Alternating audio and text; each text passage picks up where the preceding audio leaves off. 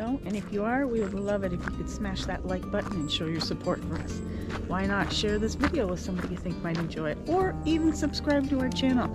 We would love all those things if you could do to show your support, and we will keep making videos to entertain you. Thanks!